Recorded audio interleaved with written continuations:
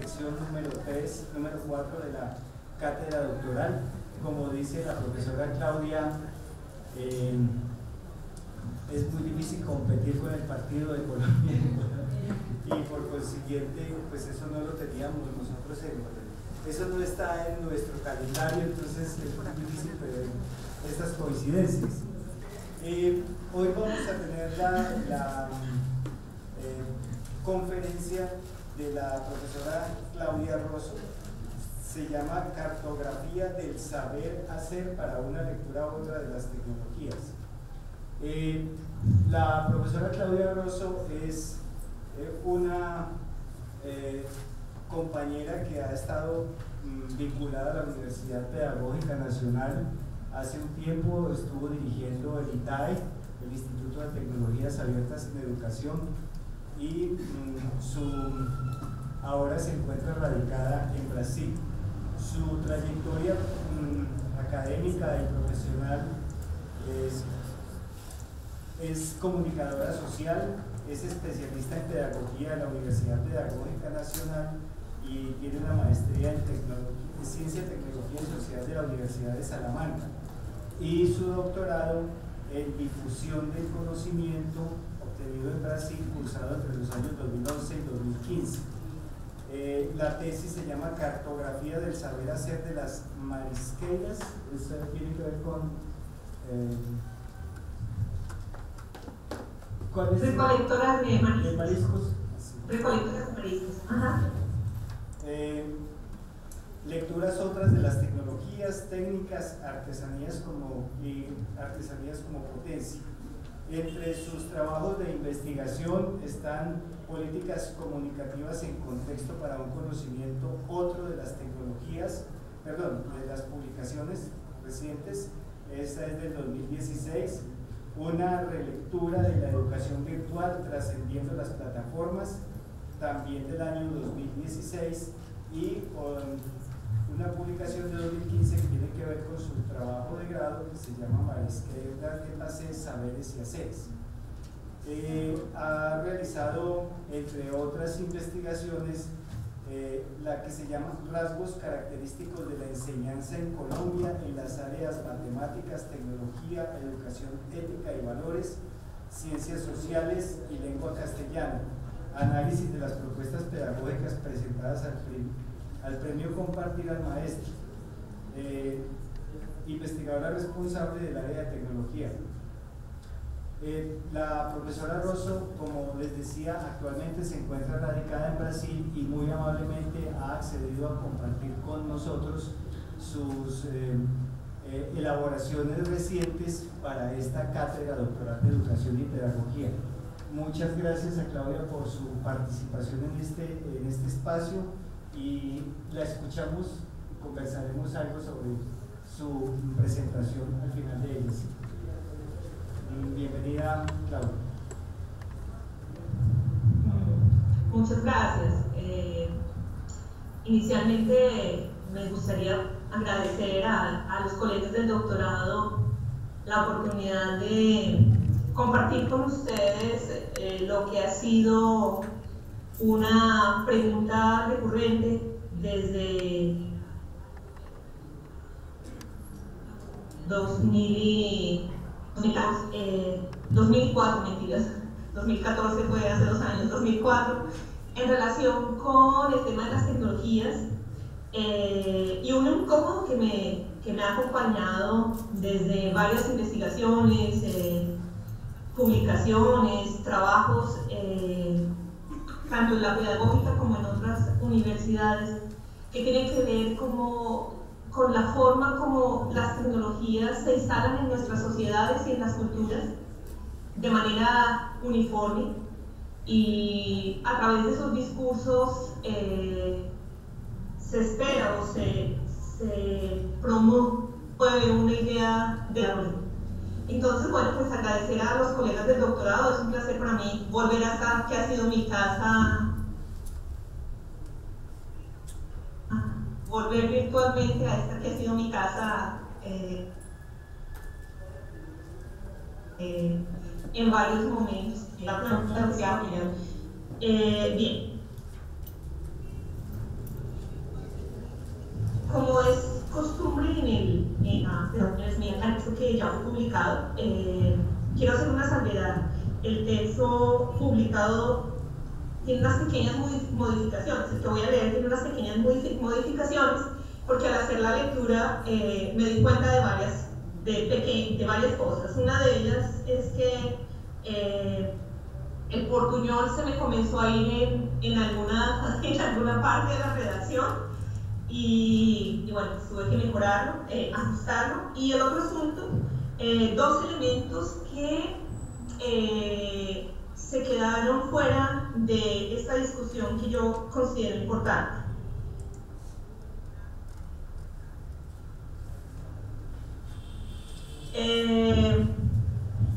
bien, no siendo más, así a los que están asistiendo, agradezco la presencia también. Eh, si tenemos algún problema de sonido, de retorno, eh, me informan para o hablar más alto o más despacio o lo que sea.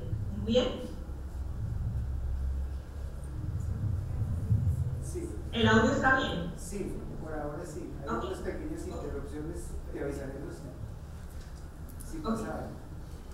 Bien, vale. Cartografía del saber hacer para una lectura otra de las tecnologías.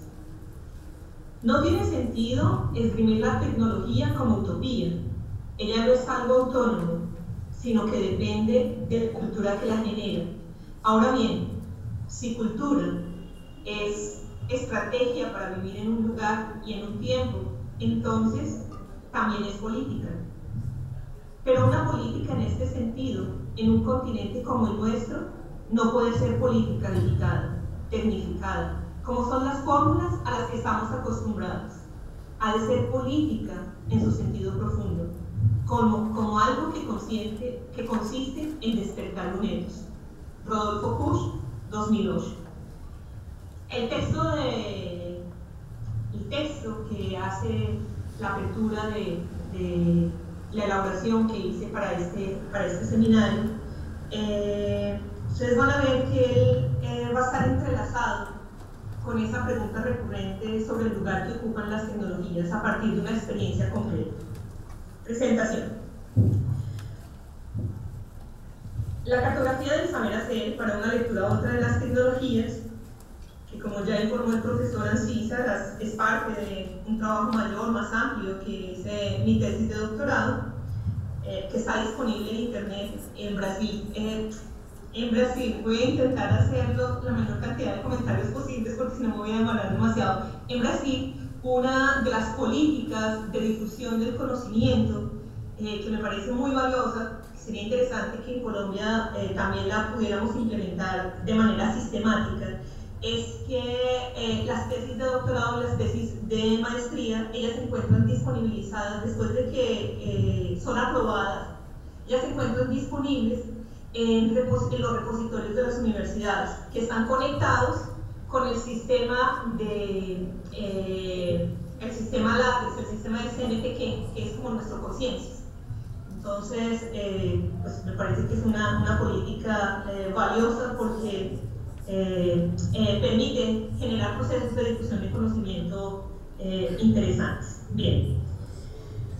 Prometo no hacer más comentarios. La cartografía del saber hacer, para una lectura otra de las tecnologías, nos permite reflexionar sobre las formas de construcción de conocimiento a partir de una experiencia concreta de investigación, vivida con la comunidad de recolectores de mariscos de Paseo de Candelas, en la Bahía de Todos los Santos, al nordeste del Brasil, durante el periodo comprendido entre 2013 y 2015.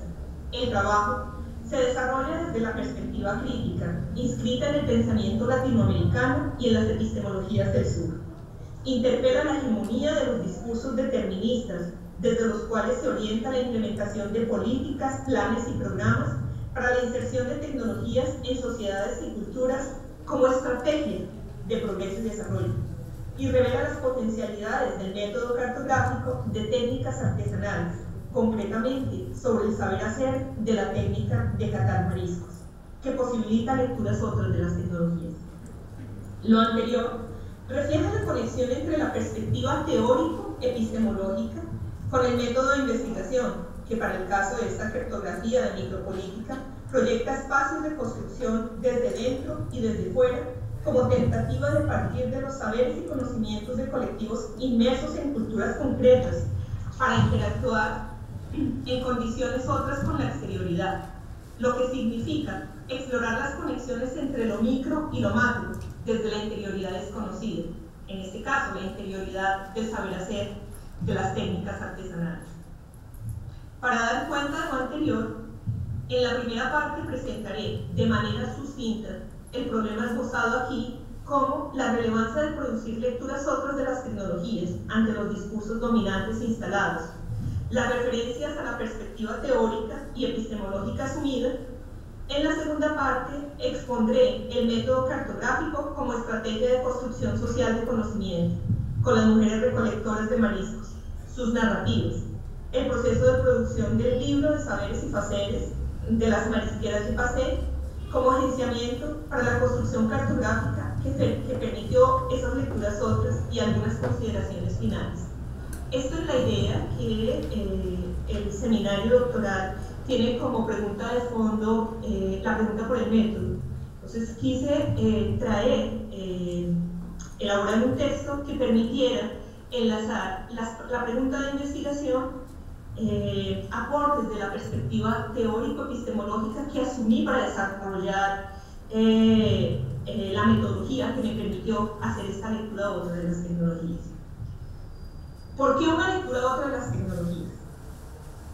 El problema de investigación, un poco más complejo que la pregunta de este apartado, se fue instalando durante la realización de investigaciones y trabajos previos a través de los cuales la relación educación-tecnología se mostró compleja y en permanente tensión entre políticas que incentivan su uso e incorporación para el desarrollo de competencias, el mejoramiento de prácticas docentes, la modernización de la escuela, los aprendizajes en línea, la incorporación de dispositivos móviles al aula, entre otras, frente a debates de investigaciones que cuestionan sus impactos en los aprendizajes los alcances a inversiones de las políticas en torno a estos temas.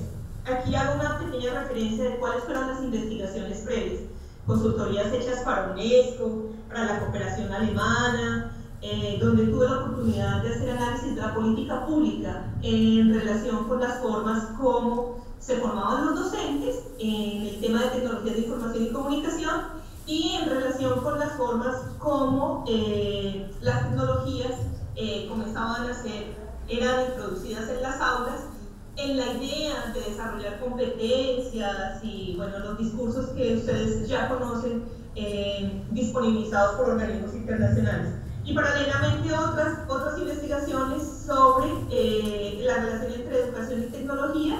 La última, la más reciente, eh, ya señalada por el profesor Ancisa, sobre las prácticas, las prácticas del premio compartir y cuáles de esas experiencias en aula sobre el uso de tecnologías eran relevantes. Bien. Con todos estos, con todos estos antecedentes y otras investigaciones, un, un trabajo de dos años de investigación en la Universidad Libertadores para eh, revisar el tema de educación virtual. Como, ¿qué, es, ¿Qué es lo virtual de la educación virtual? Un trabajo de dos años en el que se hizo un análisis de la institución educativa, entendía la institución educativa como sistema cultural y lo que nos mostró es que eh, estos procesos de educación fomentados para disminuir costos eh, y generar infraestructuras altísimas y costosas, eh, tenía muy poco de educación y muy poco de virtual. Hay un libro publicado en el 2015 que se llama exactamente así, ¿qué es lo virtual de la educación virtual? Bien, con todos estos incómodos que me fueron, que se me, fueron instalando estas preguntas, eh, se fue contornando el problema de investigación. Sumado a lo anterior, el análisis de la matriz contemporánea, saber poder, agenciada por las tecnologías, que está, es amplio, este análisis es mucho más amplio que los párrafos que aquí voy a, relatar. Eh, está aún no está, publicado en la tesis, pero aún no está publicado como artículo y es una de las, de las próximas publicaciones en las que estoy trabajando. Eh, el análisis de la matriz contemporánea de saber poder agenciada por las tecnologías reveló el campo en conflicto desde el cual se, proyecta, se proyectan las tecnologías de información y comunicación, sus estrategias de incorporación en nuestros países y el lugar que ocupa América Latina en este territorio en disputa, prolongando la carrera interminable en dirección al desarrollo. El análisis desveló parte del contexto, los idearios de la sociedad del conocimiento y de la sociedad de la información gestionados por organismos internacionales, entre ellos el Banco Mundial, el Fondo Monetario Internacional, el BID, la UNESCO, CEPAL, etc., a través de políticas, planes y programas de los gobiernos nacionales y los intereses económicos del sector productivo. Esta sociedad, esta sociedad de información y de conocimiento, basada en infraestructuras que la conectan en red y en la expresión más reciente del capitalismo orienta el proyecto de globalización Científicos, filósofos y académicos como Bowman, Oliveira, García dos Santos, Milton Santos, Escobar, entre otros, denuncian de manera reiterada las implicaciones entre formas de producción y desarrollo de los sistemas tecnocientíficos con estructuras de poder económico de transnacionales y mecanismos de producción y legitimación de conocimiento, que cada vez más fortalecen los sistemas de dominación y exploración, además de los alcances del poder transnacional ejercido por los estados. Estas configuraciones complejas y diversas nos llevan a pensar en las mutaciones que se producen en las implicaciones entre tecnología, cultura y conocimiento. El trabajo que abordamos aquí cuestiona las formas como las tecnologías se, instituyen de manera homogénea en la sociedad y la cultura, trazando fronteras de territorios diversos y generando nuevas prácticas de exclusión, así como las tensiones entre los modos de producción, difusión y legitimación de saberes y conocimientos técnicos y tecnológicos, con el interés de salir de los dualismos impuestos por la racionalidad moderna. Simultáneamente, y como tema de otros estudios, considero importante que es un eh, marcado como eh, de una orientación desarrollista y de una eh, orientación excluyente, etc.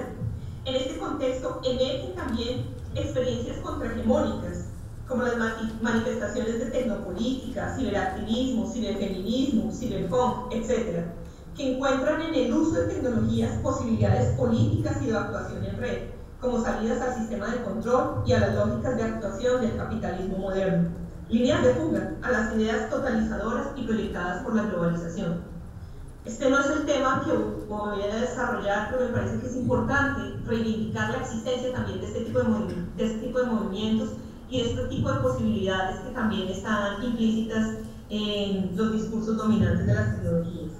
Encuentro en el intercambio, en las interacciones, en la exploración sobre formas diferenciadas de conocer, producir y difundir conocimiento, un potencial transformador que nos permite proponer diálogos. Para esto, preciso explicitar la perspectiva epistemológica desde la cual transito hacia un horizonte de posibilidad para arriesgar esas lecturas obras. La racionalidad modernizante y las herencias coloniales. Pensar la latinoamericana implica reconocer el proceso histórico, económico y sociocultural basado en relaciones de exploración, dominación y conflicto, según Quijano, mediante las cuales se trazó un proyecto de desarrollo homogéneo que fue consolidando imaginarios sociales y dejó a las colonias atrapadas en una, eterna, en una deuda eterna difícil de saldar. El despliegue de una racionalidad única, siguiendo a Dussel, a Mignolo y a Maldonado Torres, y las conexiones entre colonialidad, poder, ser y saber, colocaron al colonializado en la zona del no ser, lo cual fue aprovechado para legitimar las relaciones de dominación y exploración que incluyeron desconocimiento, negación de otras lógicas de pensamiento, lenguajes y vínculos con la naturaleza, con lo sagrado, en general con formas de ser y estar en el mundo. Rodolfo Bush exhibió la superposición epistemología modernidad, como una de las bases del proyecto político de Occidente, que mostró un dominio absoluto de la ciencia y de la humanidad sobre la naturaleza, una la instrucción impuesto en la revolución industrial, la expansión, la expansión de la empresa colonial y la racionalidad discursiva conformaron la matriz del pensamiento europeo propagado globalmente. ante lo cual reivindico la importancia de, reivindicó la importancia de pensar situado y localizado, la relevancia de lectura y escritura de nuestras propias realidades para legitimar los espacios de producción, apropiación y difusión de conocimiento, y advirtió que en los modos de producción científica y tecnológica también están implícitas formas de transformar la realidad y la manera como la comprendemos. En, sus análisis, análisis crítico, Bush percibió la dificultad de nuestra América para adoptar maneras de ser, saber y conocer inscritas en la tradición, en la cultura local, ante las aspiraciones de un Estado que contenía y aún contiene ideas de progreso, ligadas a la tecnología como un camino de futuro, siempre con cosas nuevas, como si fueran relaciones casi mágicas que sorprenden más por su carácter novedoso que por la utilidad de los objetos técnicos revelando parte de las utopías tecnológicas implícitas en la adopción de tecnologías y en la adquisición de aparatos e infraestructuras que en realidad no son más que la ilusión de un futuro presumiblemente alcanzable, porque en el proceso de importación de tecnologías para el desarrollo, lo que se importa son objetos e ilusiones. Kush muestra la conexión entre producción de técnica y tecnologías enraizadas al suelo que las produce, enlazadas a la cultura. Señala que la tecnología no es autónoma, ella depende de la cultura que la desarrolla. Como eje de esta discusión, reitero la necesidad de pensar las tecnologías en plural, las técnicas en plural, los objetos técnicos y los vínculos que se generan y que generamos con ellos la formación del pensamiento técnico para hacer visibles conexiones y, tensiones que permitan lecturas otras, basadas en la multiplicidad epistémica. Lo anterior implica, implica encarar un viejo debate de filósofos, antropólogos y sociólogos sobre la tecnología, que trazó abismos entre cultura, técnica y tecnología, marcó diferencias abismales que colocaron a la especie humana y a las máquinas, los objetos técnicos, sin ninguna conexión o en franca oposición, lo cual torna indispensable explorar los universos comprensivos del hecho técnico, que permita acercamientos a los sentidos y significados construidos sobre el mundo tecnológico que habitamos y que también nos habita, en el que conviven simultáneamente comprensiones diversas y en ocasiones disímiles, pero que son parte de una misma realidad. Sobre el tema, observar cómo los enfoques de autonomía de la tecnología y su supuesta neutralidad contribuyeron y contribuyen aún a la creación de un sistema de representaciones que además de definir la incorporación de tecnologías como vía de progreso, impidieron e impiden el cuestionamiento del fenómeno y del hecho técnico. Se trata de pensar el conocimiento y la tecnología como expresión de conocimiento ligado a la cultura, o mejor a las culturas, localizadas geopolítica e históricamente, para interpelar y tensionar la racionalidad instalada y analizar la realidad técnica para formular lecturas otras a partir de manifestaciones de, de la diversidad, la tradición y las diferencias silenciadas históricamente. Los análisis de Kush, de Stiegel, de Simondon, que si bien no corresponden a la misma línea de pensamiento eh, eh, entre Simondón y Kush hay unas diferencias abismales, no solamente eh, por los enfoques sobre los cuales abordan el tema de la técnica y de la tecnología, sino por la misma manera, por la misma forma que hacen el abordaje desde el tipo de disciplinas, disciplinas por llamarlo de alguna manera, científicas a las que corresponden. Simondón se pregunta por, por la, la creación eh, por el modelo de existencia de los objetos técnicos, pero su, pregunta, eh, que es parte de, la tesis doctoral de Simondón, su pregunta es una pregunta hecha desde los inicios de la cibernética, desde las ciencias de la información. En cuanto Kush, desde la filosofía y la antropología, se pregunta eh, por esas diferencias entre el ser y el estar que enraizado en la cultura también tiene una comprensión de lo técnico y una construcción de lo tecnológico. Bien, eh, esas diferencias no impiden que encontremos puntos eh, en común que nos permitan aproximarnos a esa lectura otra. Stiegler, Stiegler él, él, hace una, un análisis de la tecnología desde la complejidad y basado en la obra de Simondon tiene aportes significativos para intentar comprender este mundo de alienación técnica en el que vivimos, producido más por la ausencia de las tecnologías que por los mismos objetos técnicos. Bien, los análisis de Push, Estienne y Simondon permiten observar que uno de los grandes conflictos sobre la relación entre la especie humana y las tecnologías es presentarla e investigarla de manera fragmentada, dispersa, sin posibilidades conectores, con fronteras delimitadas que privilegian el valor de uso del objeto técnico y lo separan de su dimensión estética y cultural, al tiempo que desconocen la imbricación entre las formas de producción de conocimiento técnico y de conocimiento en general y las sociedades que lo producen. Ignoran formas como máquinas, herramientas, en general objetos técnicos, son modificados y simultáneamente modifican las culturas, generando una falsa oposición entre cultura, técnica, humanidad y máquina. Lo anterior permite resaltar las culturas como escenarios desde los cuales es posible pensar la técnica, los objetos técnicos y los actos creativos que originan su producción, considerando la convivencia entre especie humana, naturaleza y máquinas, las relaciones sociales entre seres técnicos y seres biológicos, con conexiones políticas y económicas, esto con el propósito de interferir éticamente esta realidad.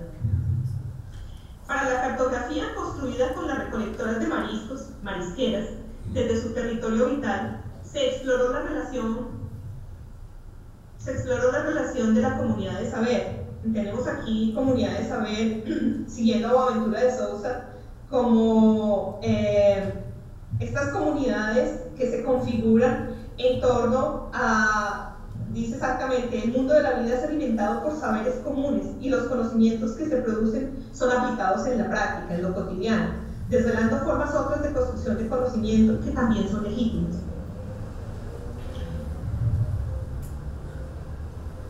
Para la cartografía construida con las recolectoras de mariscos desde su territorio vital, se exploró la relación de la comunidad de saber con la técnica, el saber hacer propio en su práctica, la relación con los objetos técnicos, las formas de difusión y apropiación de sus saberes, lo cual confrontó su realidad técnica con la velocidad de las tecnologías digitales, la relación de las personas con sus objetos técnicos, y las lógicas de uso y creación de distinto orden que componen una misma y compleja realidad técnica. Segunda parte. Desde los antagónicos, cartografía del territorio vital. El trabajo empírico rastreó alternativas a las formas hegemónicas de la racionalidad técnica en complicidad con el poder. Para ello, arriesgó una lectura a otra desde los antagónicos, a las estrategias instaladas, como una apuesta por identificar resistencias y tentativas de disociar la construcción, las construcciones discursivas instaladas.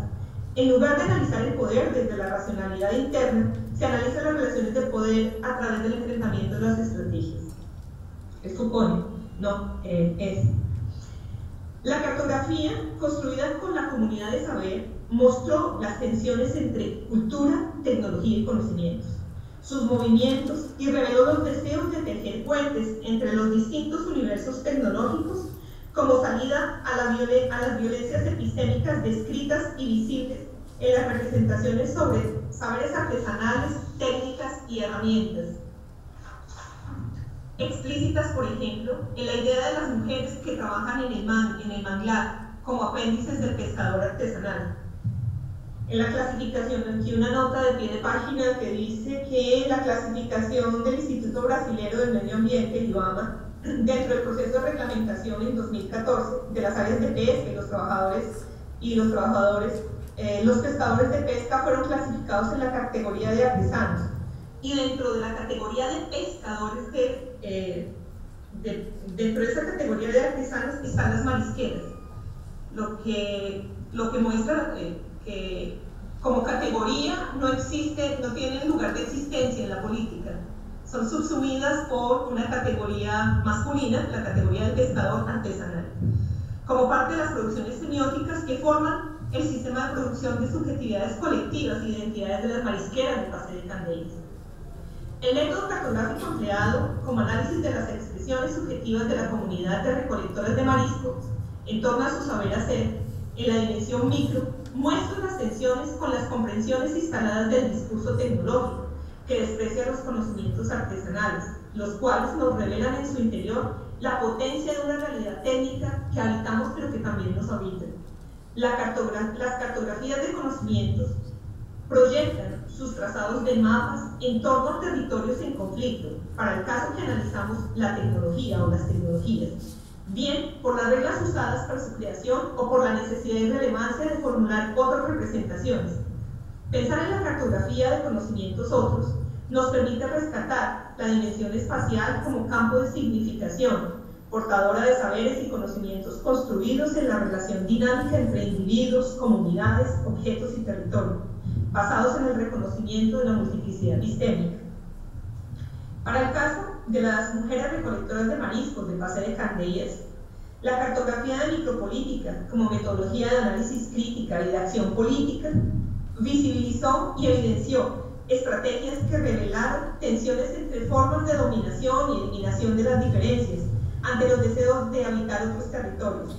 En palabras de Guattari y Ronick, la cartografía como invención de estrategias para la constitución de nuevos territorios, otros espacios de vida y de afecto, en una búsqueda de salida fuera de los territorios sin salidas. Hasta, hasta ahí Guattari y Ronick. Durante el trabajo con la comunidad del manglar, se comprendió, perdón, durante el trabajo con la comunidad, el manglar se comprendió como el territorio vital, por el sentido y significado que para las mujeres marisqueras tiene este espacio. Es allí donde el saber hacer, la técnica de mariscar, se revela en la práctica, donde aprendieron el respeto y la pasión por la naturaleza y donde fueron iniciadas en el arte de la pesca. Las conexiones con el manglar son significativas para todas. Sus experiencias individuales y colectivas son parte de la configuración de sus identidades como marisqueras, las cuales se enlazan con un exterior, comunidad, colonia de pesca, estado, país, etc., que también construyen representaciones sobre ellas, sobre sus saberes y sobre sus técnicas. Hay una cita textual de una de las marisqueras eh, que dice, yo creé mis hijos en el mangue eh, tengo mucho orgullo de ser marisquera. Las personas que no conocen el mangue piensan que es fácil. Cuando llegan allá enfrentan el peligro, el peligro y la dificultad. Ahí es cuando ellas dicen que nosotras, las marisqueras, somos guerreras. A través del discurso, de sus narrativas y sus lugares de enunciación, el manglar emergió como territorio habitual en las diversas y permanentes referencias que las marisqueras hacían como espacio en el cual se situaban, sus posibilidades de subsistencia y de creación. Esta idea reflejó construcciones sociales con procesos de significación múltiples y en su delimitación de espacio, es decir, en la frontera con otros territorios, representó las formas de actuación y organización dentro de él, prácticas concretas, modos de interacción, construcciones simbólicas y visiones de mundo. La relación de las, eh, de las mujeres marisqueras mostró las fronteras entre sus saberes y haceres, explícitos en la técnica artesanal de la pesca de mariscos, que garantiza su subsistencia, ante otro tipo de saberes y conocimientos que producen criterios de legitimación de lo técnico, lo tecnológico, de los conocimientos asociados a procesos válidos para la rentabilidad y el lucro, lo cual reveló una de las grandes tensiones sobre las formas de habitar el mundo mediado tecnológicamente que tienen que ver con la rentabilidad, la eficiencia y la productividad.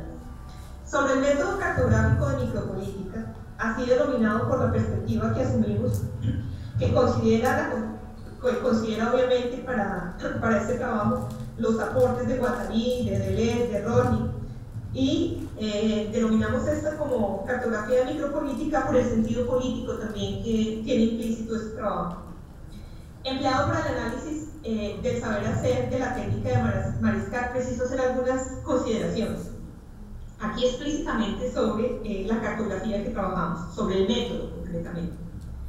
La cartografía como posibilidad de acompañar procesos que permitan tornar visible las expresiones subjetivas, singulares y mostrar el trazado de líneas, fuerzas, tensiones y movimientos sobre el terreno en disputa, para el caso la tecnología, la técnica artesanal.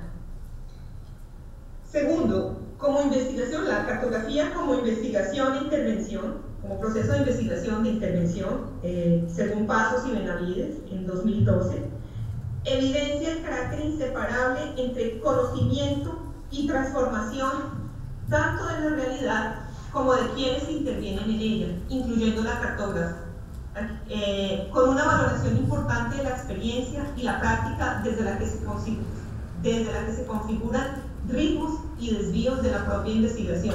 Aquí preciso decir que eh, el trabajo cartográfico con las mujeres de Paseo de Candelas no solamente fue una rica experiencia como investigadora, sino fue una, una experiencia eh, transformadora en términos de reconocer eh, las formas de construcción de identidades, en términos de conocer la generosidad de las mujeres del manglar al compartir sus saberes y conocimientos.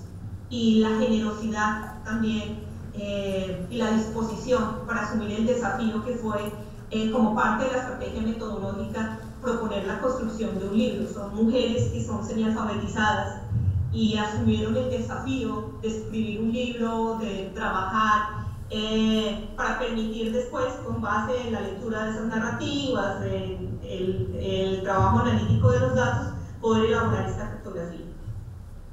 Y debo decir que esa experiencia también me transformó, no, me transformó el proyecto de investigación. Las preguntas con las que llegué al comienzo se fueron modificando en el transcurso del trabajo. El cartógrafo, el tercer elemento, el cartógrafo no hace una colecta de datos, los produce a partir de, de elementos que se encuentran latentes en el territorio y emergen durante el proceso de investigación, lo cual exige del investigador sensibilidad y atención constante, para reconocer que la construcción de la cartografía carga su propia historia y el presente es portador de una espesura procesual que revela el territorio más allá de la descripción y el procesamiento de la información. Aquí es un aporte de Castro en 2012. La producción cartográfica en esta perspectiva es el cuarto elemento que, que quiero resaltar en términos de lo metodológico, de esta metodología concreta. La producción cartográfica en esta perspectiva es parte de un cultivo que se construye con la incorporación del cartógrafo al territorio existencial, lo cual requiere de la postura de un cartógrafo aprendiz, considerando que el saber y el conocimiento está en la comunidad, en el colectivo. Durante la construcción de esta cartografía con las mujeres recolectoras de mariscos de Paseo de Candellas, el proceso de reflexión sobre sus saberes y haceres se constituyó en uno de los factores claves que hizo posible la producción colectiva de conocimiento alrededor de su territorio vital, el manglar, desde donde se, desde donde se reveló una técnica anclada al pasado y legitimada en el presente, como práctica de subsistencia. El proceso fue permitiendo el empoderamiento de las mujeres del mando en relación con su técnica y sus identidades como marisqueras. La producción cartográfica, el libro como agenciamiento y los mapas. El agenciamiento aquí es entendido como la estructura, en una noción amplia, que nos permitió dar forma creativa a la emergencia de procesos de singularización que pretenden ser normalizados, homogenizados o subalternizados, para ser incluidos en una totalidad que elimina las diferencias, siguiendo las contribuciones de Guattari y de, y Bien, eh, sobre la producción cartográfica y el libro como agenciamiento y los mapas. En esta investigación, el método cartográfico, como la oportunidad de acompañar procesos, me permitió, con la complicidad y generosidad de Cecilia, Edelzurita, Marinilsa, Marina, Yandira, Idalia, Elani, Solange, Carlinde, María Santiago, Josení, Dulcinea, Ana, Josina y las cerca de 50 mujeres de la colonia de pesca Z54 hacer una aproximación a los secretos de esta técnica artesanal, que simultáneamente me brindó pistas para hacer las lecturas otras de las tecnologías. Eh, una cita del libro que producimos con las marisqueras. El artesano es como un mago. En nuestro caso, las pescadoras artesanales, marisqueras de la colonia de pesca Z54 tiene su conocimiento en la práctica y se manifiesta en las habilidades y destrezas de su hacer, totalmente desconocido para otros. Hasta ahí la cita. La construcción cartográfica en esta investigación se apoyó en el proceso de producción de un libro. El libro está disponible en internet y en el texto ustedes ven en la nota de pie de página está, está el acceso al libro que, como les decía, está en el repositorio de, de la Universidad Federal de Bahía. Un libro, un libro producido con ellas con licencia Creative Commons y puede ser bajado, usado, eh, aprovechado. Bien, la construcción cartográfica en esta investigación se apoyó en el proceso de construcción de un libro con las marisqueras sobre sus prácticas, el manglar, los relatos de vida, narrativas, oralidades, diseños y fotografías que fueron analizadas para producir los mapas. Los mapas fueron producidos con el apoyo de un software de, de, de investigación cualitativa que es Atlas tal vez muchos de ustedes lo conocen los cuales mostraron entramados complejos desde el territorio, conectores que eh, descubrieron la implicación entre saber, conocimientos y naturaleza, en tiempos y ritmos marcados por el medio natural, las formas como se construyen las identidades de las marisqueras, sus singularidades, la manera como aprenden en la práctica y cómo transmiten sus saberes y la, valorización de los saberes ancestrales que les permite el reconocimiento de la naturaleza como un ser vivo y donde se esbozan algunas líneas de flujo. En la idea del libro como agenciamiento, el proceso de producción fue comprendido como posibilidad de reflexionar en torno, en torno al territorio vital, explicitar sentidos y significados, reconocer y significar los saberes y haceres, las formas de enseñar y de aprender, las conexiones con sus herramientas, con la naturaleza, con el cuerpo, identificar los rituales, los mitos, las relaciones con su hacer, en síntesis, la observación de flujos y movimientos por los cuales transita la comunidad de saber de manera natural, casi imperceptible.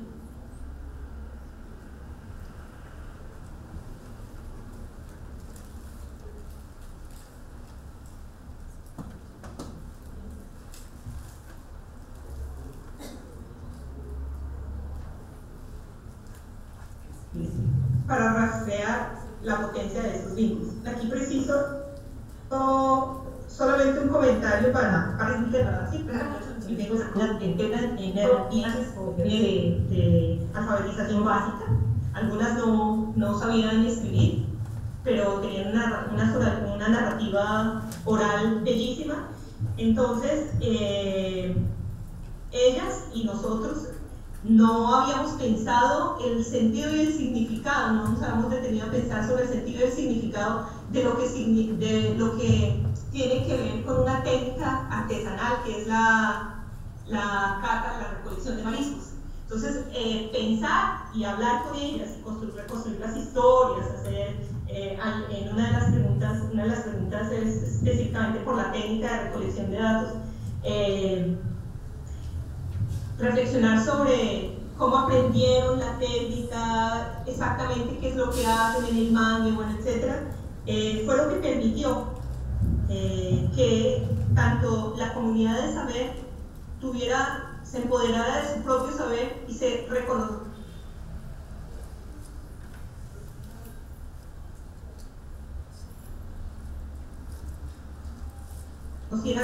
como portadora de saber portadoras de saber, se, consideraban en, la última escala del nivel de producción que, eh, que tiene la localidad. después de la producción del libro se consideraban ya autoras, escritoras. Fue un trabajo eh, interesantísimo. Bien, eh, lo anterior permitió, entre otros aspectos valiosos, reconocer el saber hacer sobre la técnica como conocimiento incorporado que se, exterioriza en la propia práctica. Según Polanyi, el conocimiento tácito, complejo, implicado en la práctica, en la experiencia cotidiana, que con el tiempo se va instalando y construye, y constituye parte fundamental de las acciones de las personas. Abarca sentimientos, sensaciones, sensibilidades, lo cual dificulta su formalización o sea, una dimensión casi secreta en el complejo mundo del universo del conocimiento. Siguiendo a Polanyi, sabemos más de lo que podemos decir. En relación con las herramientas, con la, reflexión reflexión y el trabajo sobre las herramientas que ellas usan, que es relevante, consideramos relevante por la correlación, por la correlación entre técnica y conocimiento tecnológico con herramientas o con objetos técnicos, en el caso de las tecnologías contemporáneas. Polanyi, Polanyi analiza las conexiones entre sentido y significado, el hecho de conocer como un esfuerzo interpretativo que transforma sensaciones sin sentido en sensaciones con significado, lo cual indica que cuando se usan herramientas se, activa un nivel consciente en torno a la modificación que los objetos técnicos, herramientas, ejercen sobre las cosas.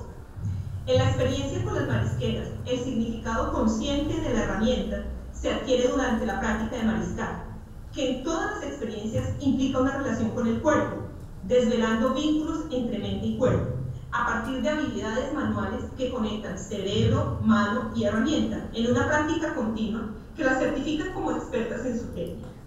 Es importante resaltar la relevancia que para el conocimiento del artesano tiene la conexión mano-cerebro, estudiada por múltiples autores, entre ellos Ted en su bello libro del artesano, que ante el privilegio y predominio de las técnicas modernas son poco valoradas por las culturas occidentales, por la cultura occidental.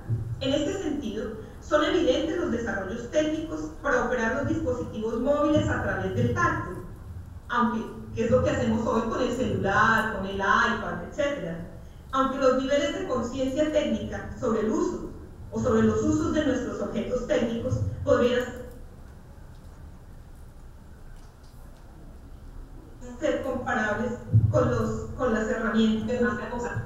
Mano-cerebro en el saber hacer de la técnica de mariscar está totalmente incorporada, se exterioriza en la práctica, en la cual emergen otras habilidades que les permiten seguir la velocidad seguir eh, el trabajo el trabajo de mariscar, de catar mariscos, tiene que ver con, aquí preciso hacer esta explicación para continuar con la, con la argumentación, eh, tiene que ver con el trabajo de mujeres que entran al mangue, ¿cierto? Eh, y que utilizan herramientas, herramientas que son simples, son cuchara, cucharas, piedras, herramientas básicas, instrumentos básicos. Eh, eh, según Simondon serían objetos pretécnicos, ¿no? Eh, y el desarrollo de las habilidades de las marisqueras está dado por la relación que ellas tienen con su cuerpo al ingresar al mangue. Yo tuve la oportunidad de ir varias veces con ellas al mangue y la verdad es necesario hasta mantener el equilibrio en el cuerpo, la forma de pisar dentro del, del manglar, perdón, mangue en portugués, eh, la manera de pisar dentro del manglar, porque si no se sabe cómo mantener el equilibrio en el cuerpo, uno puede eh, sumirse, eh, hundirse en el, en el manglar. Entonces, ellas, a partir de la observación, de la naturaleza y a partir del trabajo cotidiano de esta práctica que han desarrollado, eh, consiguen mantener un equilibrio impresionante entre eh, eso que, que, he llamado esa relación entre el cuerpo eh, y la técnica. Bien, vuelvo aquí para poder conectar con lo que estoy diciendo. La conexión mano-cerebro en el saber hacer de la técnica de mariscar está totalmente incorporada se exterioriza en la práctica, en la cual emergen otras habilidades que les permiten seguir la velocidad de los mariscos en el manglar, percibir el chorro de agua del marisco para hacer pescado, es un tipo de marisco concreto que antes de que ellas eh, consigan eh, recogerlo del mangue, suelta un chorro de agua. Y ellas saben exactamente dónde está, pues por el chorro de agua, no solo que en el mangue, quien nunca lo ha hecho como yo, eh, lo dejaba pasar no, ni percibía que el chorro de agua estaba, estaba saliendo. Entonces, eh, esa relación, bueno, sentir a través del tacto con la lama y el lodo las, la carcasa del camarón en, en el trabajo de recolección de mano. En fin, sensibilidades posibles en el perfeccionamiento de la práctica que las conecta con el manglar y revela la implicación de cuerpos con herramientas que obtienen sentido según la función para facilitar la recolección de las especies de mar. Esa es la interacción para resolver un problema, una cuestión que las herramientas adquieren sentido. Para las marisqueras de pase de candellas, el conocimiento del hábitat, el mangue, la respinga, la coroa, en fin, y de los mariscos es el eje de su técnica, Es un conocimiento que construye en la práctica, se transmite oralmente y revela formas distintas de relacionarse con el tiempo, o mejor, nos permite ver tiempos que son dinámicos, marcados por los movimientos de la marea, de la luna, del viento, de los cuales depende también una buena pesca. Evidencia la conexión entre cuerpo y técnica y como condición de la práctica que tiene implícitos riesgos y enfermedades y simultáneamente garantiza el desarrollo de su propia técnica.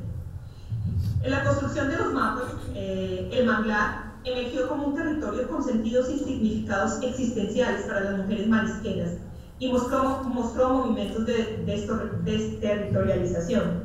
El saber hacer desveló en el saber tácito formas de difusión y apropiación de conocimientos técnicos, tanto en procesos individuales como colectivos, lo cual facilitó, a partir de la enunciación de saberes, experiencias y deseos, la emergencia de otras formas de percepción en torno a sus identidades de mujeres marisqueras, a sus saberes, a la construcción de vínculos con el exterior.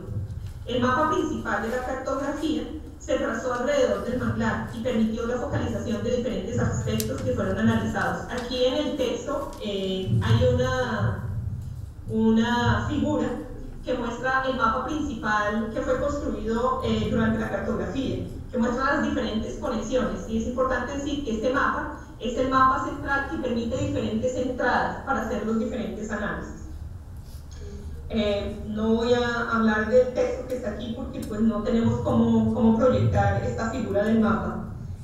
El manglar como territorio eh, muestra los fuertes lazos que se crean y establecen y tensionan sobre el saber hacer dado que el manglar es enunciado por la comunidad de marisqueras como el espacio en el, cual el hacer, la recolección de mariscos tiene lugar, lo que significa que su actividad cotidiana tiene valor, es importante. Allí mismo se revelan los recuerdos sobre las formas de mariscar que se consolidan en la complicidad de lo femenino, madres, hermanas, vecinas, como maestras, que funcionaron como maestras, afianzando sus identidades de marisqueras. Simultáneamente, sus enunciados desvendaron las singularidades que pusieron en tensión la alegría del orgullo de mariscar frente a los riesgos de la técnica y a la poca valoración social de su práctica, visible al ejercer sus derechos como ciudadanos. Lo anterior reveló una disputa entre el ser de la práctica, que las constituye como marisqueras, portadoras de un saber hacer, y la legitimación por parte del otro, que decide sobre su humanidad, sus derechos y opciones. Esta afirmación la hago eh, con base en que en Brasil existe, eh, lo voy a leer para no si no me más. En Brasil la legitimación de la práctica de mariscar se hace a través del registro como pescadoras artesanales ante el Ministerio de la Pesca, que apoyado en la colonia de pesca para el caso Z54, el pase de Candellas, mantiene un sistema de reconocimiento que les da derecho al subsidio en la época en la cual no se puede pescar y derecho a la jubilación.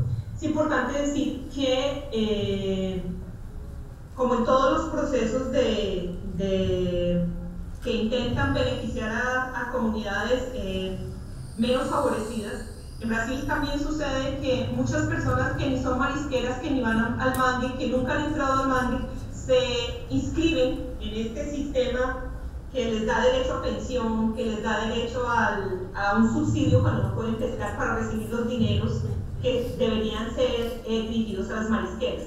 Por eso hay una, por eso hay una, ese registro en la comunidad, en la, en la colonia de pesca, que son los, el registro en la colonia de pesca es el que las acredita, las credencia, las, las acredita como, como marisqueras, ¿cierto? Entonces ellas tienen un cartel, un, un carnet donde dice que ellas son marisqueras. Entonces, durante las entrevistas y en las narraciones que ellas hacen, ellas dicen, yo soy marisquera desde que tenía cuatro años, pero soy marisquera de carteriña hace cuatro años cuando ingresó a la colonia. Y para ellas, que son realmente marisqueras, es dificilísimo comprobar que son marisqueras para tener eh, derecho a, lo que el Estado eh, les otorga como beneficio. Bien, eh, esto en relación a que estoy hablando que se revela una disputa entre el ser de la práctica, es decir, ellas son marisqueras en la práctica, ¿cierto? Y la legitimación que de, ese, de esa condición, de esa identidad de ellas como marisqueras, eh, hace el otro, que decide sobre su humanidad, sobre sus derechos y sobre sus opciones. Situación que genera en la comunidad el deseo de legitimidad de sus saberes, de sus prácticas y de sus identidades. El análisis mostró la práctica de mariscar como un espacio privilegiado en el cual los afectos, la complicidad, lo femenino, sus subjetividades y deseos configuran un potencial de mudanza alrededor de las propias percepciones y sus proyecciones como comunidad de saber. Las narrativas sobre el mangue mostraron los conocimientos específicos de la comunidad sobre la naturaleza, el tipo de mariscos, sus características, el hábitat, lo cual les facilita el desarrollo de técnicas concretas para pescarlos, mostrando uno de los beneficios del dominio de la técnica, la resolución de problemas concretos, el ejercicio de la observación permanente y el interés por mantener equilibrio con el medio, conexiones, eh, por mantener equilibrio con el medio. Estoy hablando de las conexiones con los objetos técnicos, con la práctica y la naturaleza. La indicación del cuerpo con la propia técnica se presenta como una clave para explorar enlaces entre técnicas y tecnologías diversas. Considerando que la conexión del cuerpo para operar, los objetos técnicos y realizar los movimientos necesarios para hacerlo útil es similar en cualquier tipo de práctica. La cartografía permitió mapear las relaciones marcadas en la propia recolección de mariscos que mostró también algunos rituales transmitidos de generación en generación para buscar equilibrio y manifestar respeto por la naturaleza, el tratamiento del manglar y en general del hábitat de los mariscos como espacios que merecen atención y cuidado. De la misma manera se descubrieron los peligros que acechan al manglar, al mar, como resultado de la contaminación generada por los asentamientos industriales y las personas que ponen en riesgo una técnica de subsistencia en una disputa desigual entre la industria petroquímica de Camasarí, que es una, un emporio industrial que queda ahí en el, eh, localizado ahí en el Cabo Bayano, el centro industrial de Aratú y la colonia de pesca de Pase de Candelas. Consideraciones finales. La construcción de conocimiento técnico como una de las dimensiones de la tecnología, analizada con base en las claves analíticas de la perspectiva de colonial, permitió reflexionar sobre los discursos instalados como herencia de la modernidad y sus universales, así como las perspectivas críticas iniciales que redujeron el universo técnico y tecnológico al mundo de las máquinas, desarrollado para incrementar la eficiencia del capitalismo.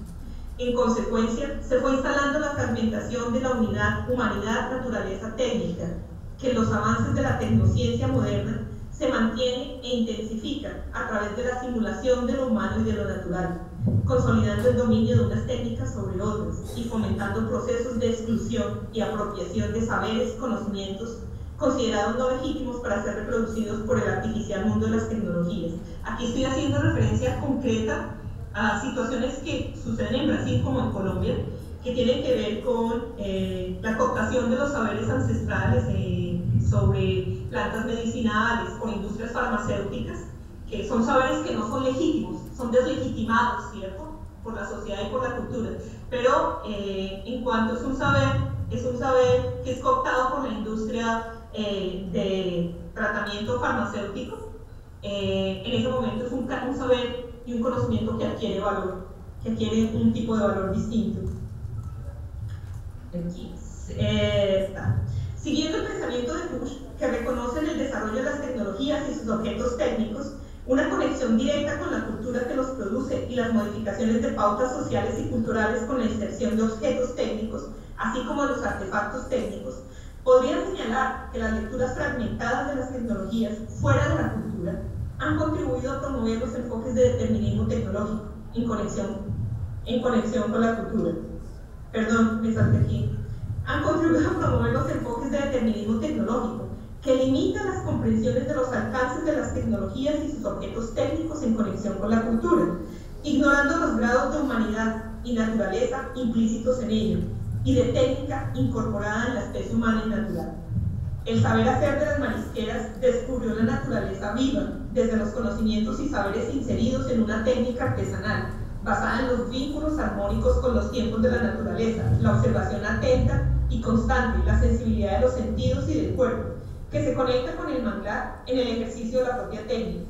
En estos lazos entre naturaleza, tiempo y sensibilidad se manifiesta la condición de estar, referida por Bush, un estar que comunica a las mujeres recolectoras de mariscos con su territorio como operador seminal, que enlaza la técnica, las herramientas, y el saber hacer su subsistencia con la vida, en construcciones de un tiempo u otro que se tensiona con la velocidad de las tecnologías y técnicas en ritmos acelerados, veloces, que nos obligan a ser modernos, progresistas.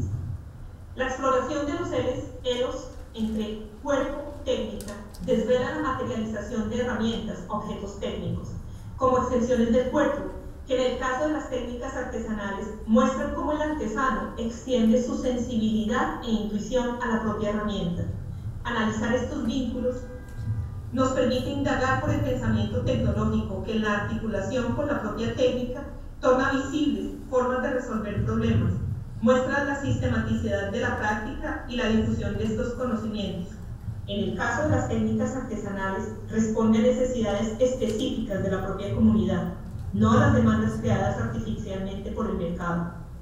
Esta cartografía exploró universos comprensivos del hecho técnico como una forma de aproximarnos a sentidos y significados del mundo tecnológico que habitamos, en el cual conviven manifestaciones diversas y múltiples del saber y conocimientos enraizados en la cultura.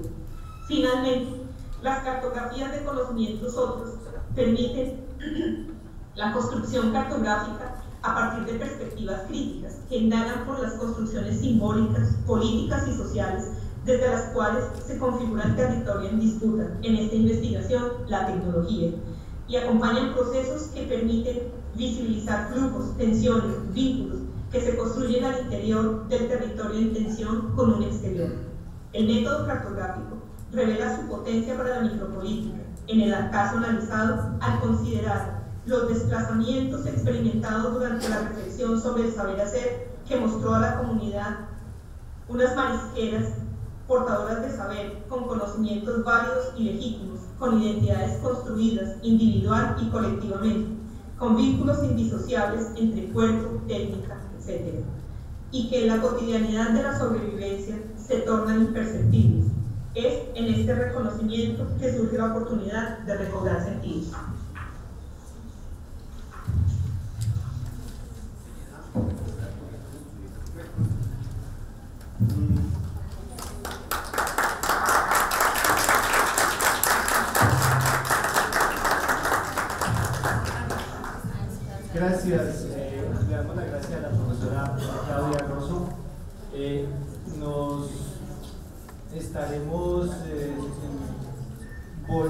A compartir con las personas inscritas en la casa perdón, la información, mm, Stephanie, sobre la, el lugar donde se puede ubicar la, el trabajo de tesis de la profesora Rosso, porque nos parece que sí valdría la pena para las personas que están trabajando en esta perspectiva que revisaron el trabajo eh, realizado que está compartiendo hoy con nosotros. Claudia, vamos a escuchar entonces, eh, nos va a leer las, las interlocuciones. ¿Dónde están? Están aquí, las vamos a leer en pantalla y luego volvemos a darle la palabra. Mientras tanto, si hay alguien aquí que quiera hacer alguna pregunta, también lo podemos escuchar.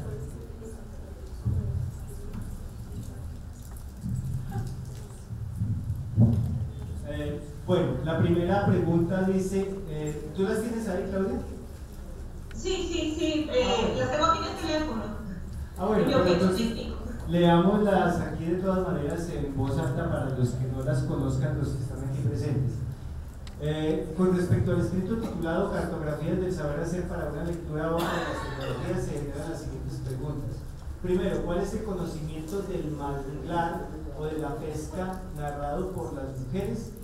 ¿Cuáles son los instrumentos utilizados para la recolección de la información? ¿Cómo se relaciona lo tecnológico con el conocimiento de las técnicas artesanales? Agradezco su atención y respuesta. Esa es una Mauricio Becerra. Eh, ¿Hay alguna más? ¿No? Bueno, esas son las preguntas que tenemos y eh, también quisiera yo agregar, Claudia, si podemos eh, especificar algunas diferencias entre que, en las que has insistido mucho entre tecnología y técnica. Por ejemplo, ¿sí? que creo que conceptualmente es útil tenerlo presente. Adelante. Bien, eh, bueno, agradezco a Mauricio las preguntas y la necesidad de hacer una precisión. Eh, como intenté mostrar en el texto, la,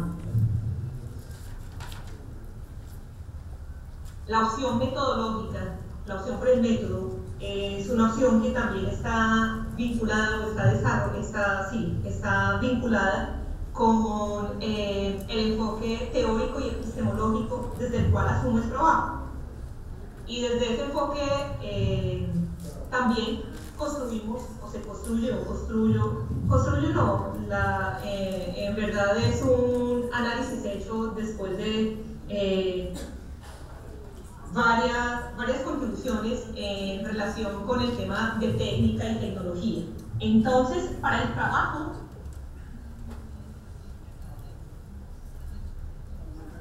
que, que estuve contigo ya es una comprensión que se basa en las contribuciones y las discusiones que elaboré sobre dos, dos, pensadores, uno Simondón y el otro Rodolfo Kusch, que son de distinto orden, por supuesto, eh, pero que me permitieron llegar a una comprensión de lo tecnológico como la mediación entre hombre, entre humanidad y naturaleza.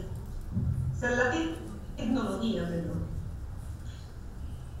Y en esa comprensión de, la tecnología como mediación entre hombre y naturaleza, vienen otros componentes adicionales. Es importante señalar que eh, cuando Simondon habla de, da esta definición de la tecnología, obviamente para él la comprensión de, de hombre y de naturaleza es una comprensión de hombre y naturaleza eh, basada en el pensamiento eurocéntrico, que eh, es la naturaleza, la, disponibilidad de la naturaleza para ser trabajada a partir del conocimiento técnico, es decir, no hay una relación de, eh, una relación, es una relación en la línea de desarrollo del conocimiento de la tecnología, ¿cierto? Eh, y en cuanto que la comprensión que desde Push eh, que es bellísima la, la, obra de Push, no sé si ustedes lo conocen, si no lo conocen, los las invito y los invito a que se aproximen al pensamiento de Rodolfo Kusch, que realmente él no se especializa, él no trabaja en profundidad el tema de eh, la tecnología y lo tecnológico. Él eh, hace alusión a la tecnología y a lo tecnológico y a la técnica eh, a partir de la discusión que plantea sobre el ser y sobre el estar como condición, como la condición de americano, de americano, y él no llama sudamericano, América, América Latina. Eh, entonces, en esa perspectiva, eh, podríamos, para sintetizar y resolver de manera eh, en síntesis, hay, hay, un debate que, que, planteo en uno de los capítulos que es un debate eh, mucho más profundo de eso que estoy señalando, eh, sobre técnica y eh, tecnología, que habla de la racionalidad del pensamiento, la racionalidad modernizante de América Latina y las discusiones, las posibles aproximaciones entre el pensamiento de Cushy y el pensamiento de Simondon. Entonces, eh, comprenderíamos la tecnología como la mediación entre hombre y naturaleza, humanidad y naturaleza, prefiero usar, y lo técnico propiamente como eh, una práctica, eh, un saber hacer en relación con el uso, con el desarrollo de una, de una práctica concreta, ¿cierto? Es importante señalar que estas comprensiones, por estas comprensiones eh, se instalan en debate y en discusión con eh, lo que ha significado una, la manera como el, pensamiento y la construcción de conocimiento sobre la técnica se ha venido instalando desde la modernidad. La construcción de eh, conocimiento sobre la técnica y aquí creo que voy a, saltar a, una, a, la tercera pregunta, me parece que es la tercera pregunta que, hace, que hace uno de los, que hace Mauricio, me parece que es, eh, el chico que, hace la pregunta. Eh, el saber sobre la técnica es un saber que en la modernidad queda cooptado con la idea de un saber lógico, un saber objetivo y un saber que deviene del conocimiento y la construcción del conocimiento científico, ¿cierto? En esa, en esa comprensión, la idea eh, de la tecnología, eh, cuando pensamos en hacer una deconstrucción o una lectura otra sobre las tecnologías, precisamos eh, aproximarnos a otro tipo de comprensiones en relación eh, con eh, la tecnología y con la propia práctica del saber hacer. Bien, eh, sobre las preguntas de cuál es el conocimiento del manglar o de, la pesca de mariscos que narran las marisqueras, aquí quisiera sintéticamente referir que el conocimiento sobre el manglar es un conocimiento concretamente sobre la práctica, sobre un, conocimiento sobre el saber hacer, ¿cierto? Sobre la propia forma de recolectar mariscos, el tipo de herramientas que utiliza, el conocimiento, sobre la naturaleza, del que depende y les permite eh, mejorar, eh, mejorar su propia práctica, los rituales, las leyendas que se construyen en relación con el manglar, etc lo que significa que estamos hablando de una dimensión del conocimiento eh, que se construye desde la cultura.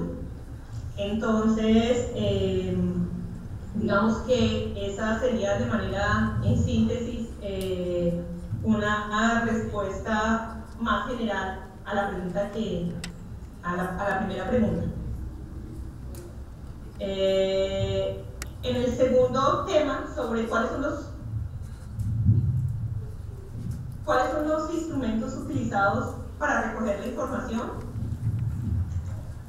Eh, como, como, señalé, este método cartográfico desarrollado por la comunidad de saber es un método cartográfico eh, en el que no recojo datos, es una especie de construcción de datos, como señala uno de los autores con los que estuve, con los que trabajé. Eh, y eh, es un trabajo que se realiza, que realicé durante dos años con la comunidad, eh, en el que sus narrativas orales, sus historias de vida, eh, tuvimos la oportunidad de realizar algunas actividades donde ellas hacían un trabajo de escritura eh, donde es importante rescatar el valor de la memoria. La memoria fue, es significativa para, para poder construir con ellas eh, la forma la forma como, como, aprendieron a mariscar, la forma como, como aprendieron a desarrollar la propia técnica una técnica que como les decía es una técnica que se encuentra incorporada, eh, se encuentra incorporada y sobre la cual no reconocían que eh, existiera un conocimiento eh, concreto. Entonces, para poder tener acceso a esta información, desarrollamos o desarrollamos la idea de construir un libro, hacer una publicación con ellos y en esa publicación, eh, en la construcción de las historias de vida, de las narrativas orales, eh, fue posible eh, después, cuando hice el análisis de los datos, a partir de esas, de esas construcciones, a partir de la identificación, por ejemplo, de esos agenciamientos colectivos de enunciación que hacía parte parte de las referencias los temas que referenciaban eh, permanentemente, las maneras como eh, se referían a temas concretos y a problemáticas concretas que, que hacían parte de su cotidiano. Eh, todos estos elementos fueron sistematizados y registrados en, en, historias, en, trabajo, en, trabajo de, en el trabajo de campo, fueron registrados en diarios de campo, eh, hicimos filmación también para, con algunas entrevistas que ellas hicieron y con toda esta cantidad de información eh, tuvimos la oportunidad de hacer el análisis que nos permitió eh, poder construir esa fotografía a través del de, el software de, de Atlas Team. La otra pregunta sobre, sobre no sé si frente a, a las formas, frente hasta, hasta lo que, frente a, a lo señalado hasta aquí, alguna otra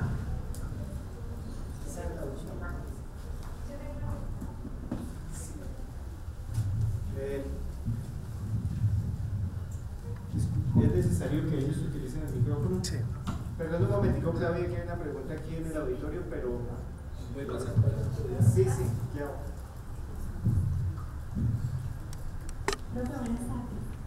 Eh, la pregunta es en torno, de pronto ampliarnos un poquito el tema, si hubo una distinción, una distinción entre el saber y el conocimiento, ¿sí? o desde donde, digamos, se, se, aborda, se aborda el conocimiento, si se vincula dentro del saber, o para empezar a abordar el saber tuvo, digamos, en cuenta esa, esa distinción. Ampliarnos un poquito el tema sobre ello. Gracias. Gracias. Gracias, Laura, por la pregunta.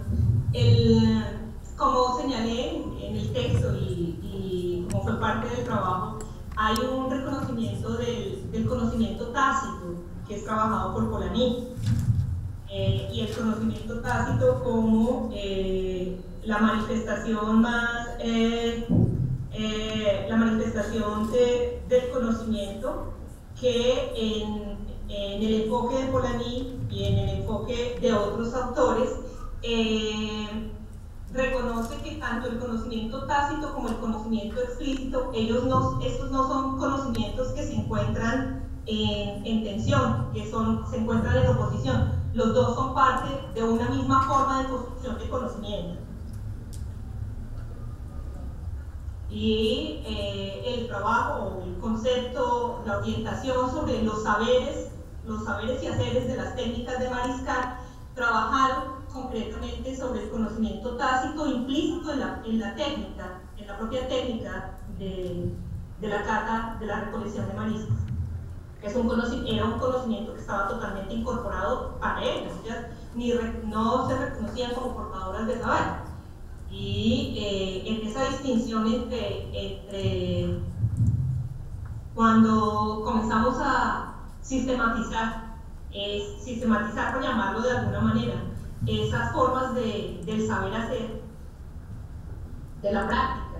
Eh, el conocimiento, ese conocimiento tácito que estaba incorporado eh, al ser sistematizado es un conocimiento que eh, queda, en una dimensión ya de un conocimiento explícito.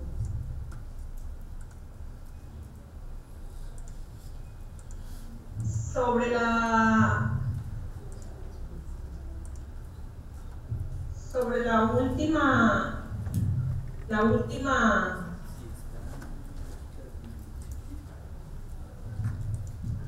Sí, sí, la pregunta. ¿Alguna otra pregunta? Eh, ¿Tienes ahí el texto por favor? Ya, esa es la última, ¿sí? ¿Cómo se relaciona la tecnología? ¿Ya? ¿Ya? O ¿Alguna otra inquietud? Mientras tanto, Claudia, eh, quisiera que en esa misma línea eh, ¿se, ¿se, puede considerar el, el, el, conocimiento artesanal, el saber hacer artesanal como una tecnología? Es el conocimiento que se construye sobre el saber hacer y la, la dimensión relacional que después de la explicitación de ese saber eh, se conseguí, conseguimos construir. Porque, eh, como les decía, en esa relación, en esa relación entre la mediación entre la humanidad y la naturaleza, que es está en la dimensión de lo tecnológico y entendiendo la, la construcción del conocimiento como una dimensión de la tecnología, no la única.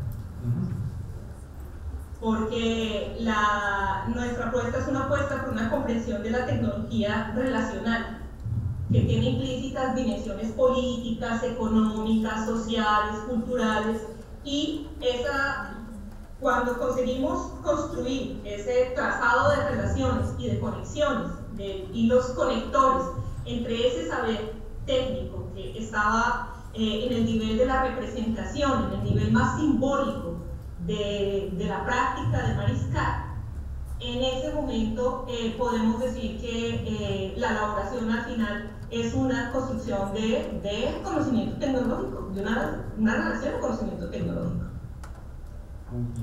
Bueno, Eduardo,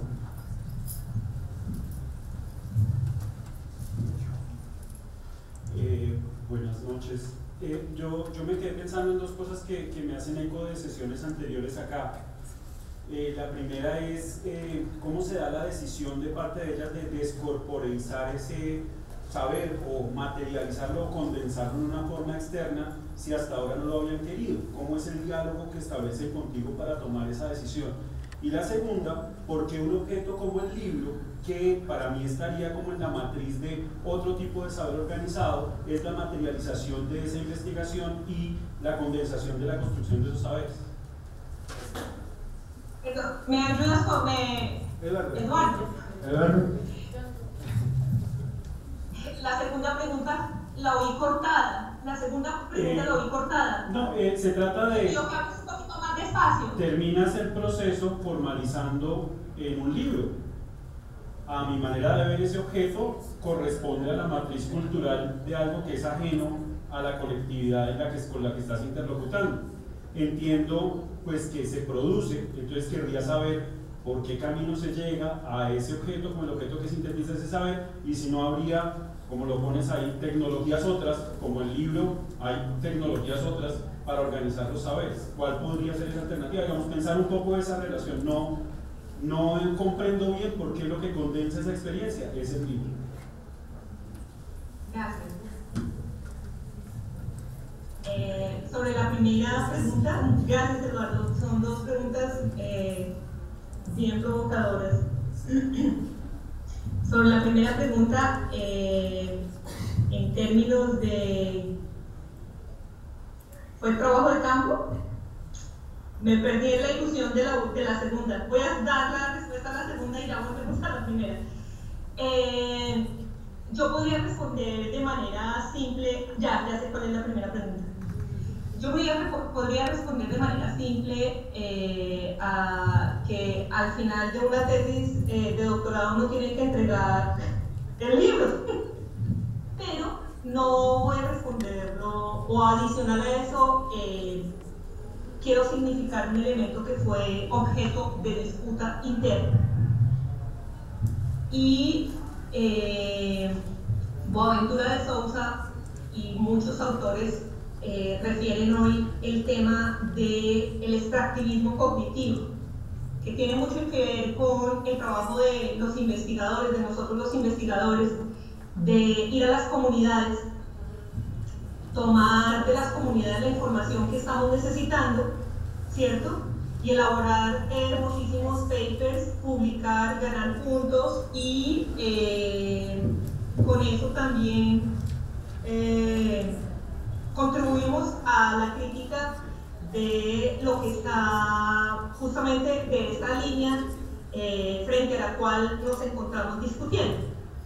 Entonces, eh, digo que la producción del libro fue objeto de disputa por los egos implícitos eh, cuando, cuando se trata de producir un libro.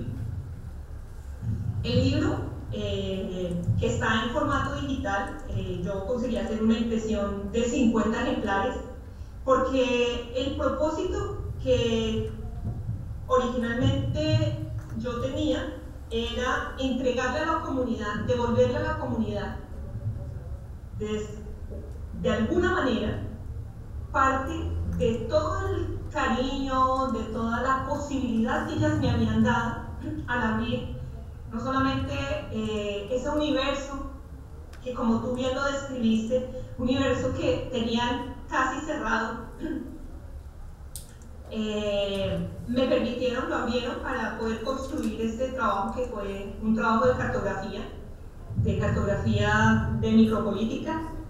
Y eh, mi intención era, al terminar el trabajo, antes de defender la tesis, que parte de la tesis, un anexo de la tesis fuera la producción del libro. Muchas veces uno anexa en la tesis eh, las entrevistas, los registros, el diario de campo, y entonces resulta siendo una cosa enorme.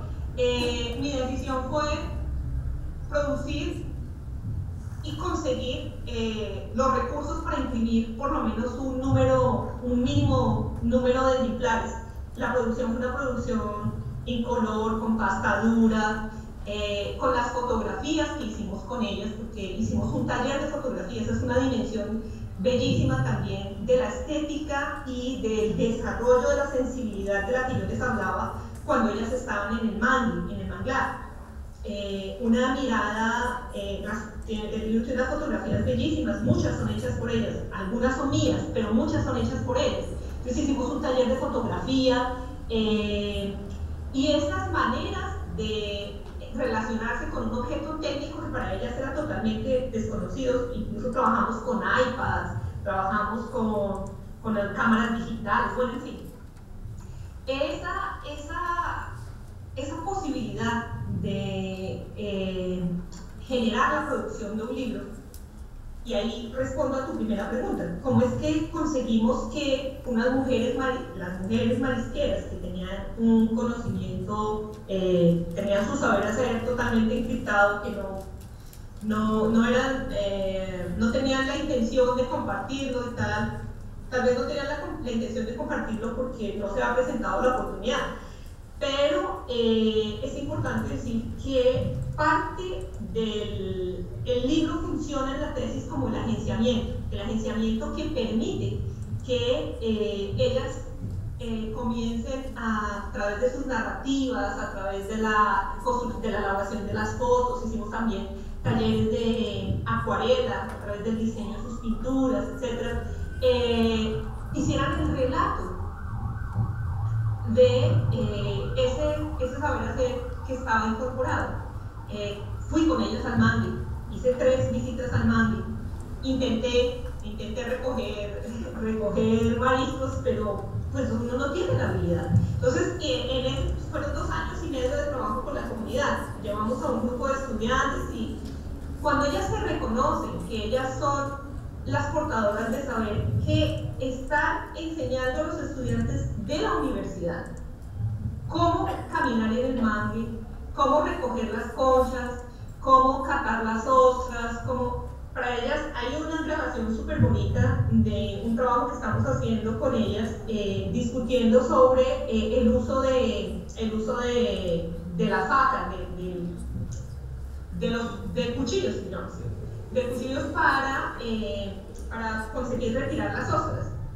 Y entonces una de ellas recuerda el momento en el que ella le estaba enseñando a uno de los estudiantes, que era estudiante de medicina, eh, bueno, es una historia un poquito más larga, pero cuando ella estaba estudiando a ese estudiante que era estudiante de medicina, y ustedes saben que no solamente en Colombia, en Brasil también, eh, ser médico está en los niveles eh, de la alta jerarquía del conocimiento. Entonces, cuando ella se reconoce, cuando ella contando la historia de, retirar la ostra de, la piedra con la, con la faca, con el cuchillo, y cuenta que ella estaba eh, transmitiendo, enseñando al médico, al estudiante de medicina, ella dice, ella queda en el video el rostro de sorpresa cuando ella se reconoce portadora de saber enseñándole a un hombre. Entonces, eh, todos esos elementos eh, que hicieron parte de un trabajo, como les digo, un trabajo de dos años y medio con una comunidad Recuerden también que yo no soy, yo no soy nativa, o sea, no, mi, portugués, por más bueno que sea, con una comunidad eh, de la ribera del mar, de la villa del mar, pues no era, no, pues porque ahí es como si yo trajera, si lleváramos a, a un extranjero a trabajar con una comunidad de pescadores. hay unas sutilezas en el lenguaje, ¿cierto? Yo tenía una compañera con la que, con la que trabajábamos, eh, pero hay unas sutilezas en el lenguaje y ellas gentilmente eh, accedieron a participar en el trabajo y eh, cuando, cuando hacíamos el ejercicio de, de, preguntar si, cuál era la comprensión que ellas tenían de mi trabajo de tesis, ellas decían que yo estaba interesada en reconocer la técnica que ellas tenían, que era el arte, el, que es el arte de pescar. Entonces, eh, creo, eh, Eduardo, no sé si con esas, con esas dos narraciones conseguí responder eh, la pregunta, la pregunta por cómo las marisqueras acceden a compartir conmigo ese universo mágico que estaba, que hace parte de su cotidiano y cómo eh, cómo al final termino con una publicación, con un libro. Cuando, después de que el libro está publicado, eh, cuando hacemos la, la, impresión y tal, y llevo los ejemplares, los 50 ejemplares para la comunidad, eh, la alegría de esas mujeres fue impresionante. Porque en el libro, no tengo uno acá, pero se lo van a ver, en el libro está, yo soy autora, claro, yo trabajé en el texto y escribía unos textos.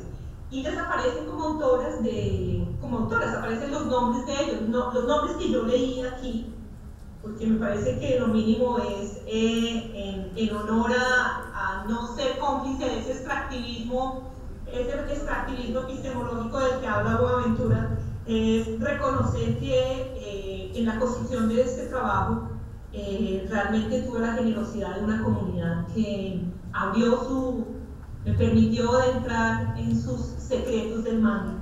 Entonces, eh, no sé si con eso.